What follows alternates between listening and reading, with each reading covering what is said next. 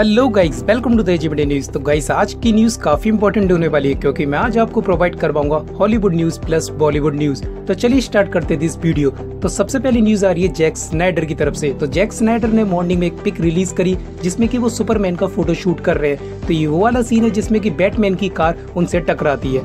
Then उसके बाद standi का फेसबुक अकाउंट हैक हो चुका है और उन्होंने मदद मांगी फ़ैन से कि वो मार्क को मैसेज करें और देन मेरा अकाउंट रिकवर करवाए. उसके बाद 2.0 फाइनली कंफर्म हो चुकी है कि 450 करोड़ बजट में बनी है और ये मूवी बॉलीवुड की पहली बन चुकी है, जो कि सबसे हाईएस्ट मूवी है।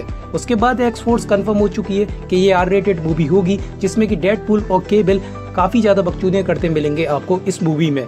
उसके बाद ब्लड शॉट जो कि विन डीजल की अपकमिंग मूवी है, और ये मूवी काफ़ी कमाल की होने वाली है। और देन मैं विन डीजल का काफ़ी बड़ा फ़ैन हूँ तो वो इस मूवी के लिए काफ़ी प्रिपेयर हो रहे हैं, अपनी बॉडी बना रहे हैं, और देन उन्होंने ये पिक इंस्टाग्राम पे अपलोड करी है, जो की मेरे आपको फेसबुक पेज पे भी मिल जाएगी।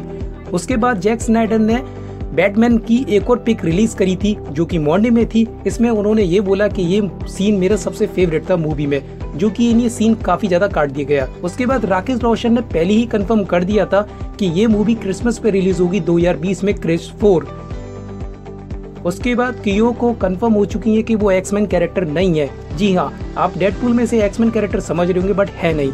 उसके बाद क्रिस फोर की एक और दमदार न्यूज़ तो फाइनली क्रिस फोर दो भागों में बनेगी। यानी कि क्रिस फोर और क्रिस फाइव जैसे कि Avenger Infinity War part one part two जो की घोषणा हो चुकी है काफ़ी पहले ही।